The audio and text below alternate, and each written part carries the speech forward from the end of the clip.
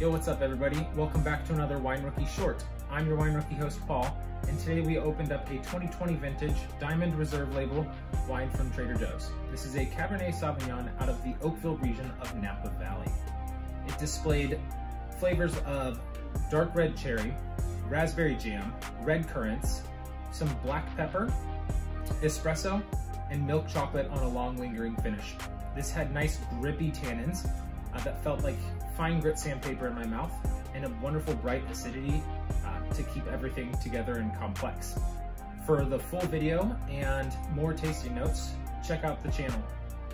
Don't forget to like and subscribe on the way out and we will see you for the next tasting. Cheers everybody.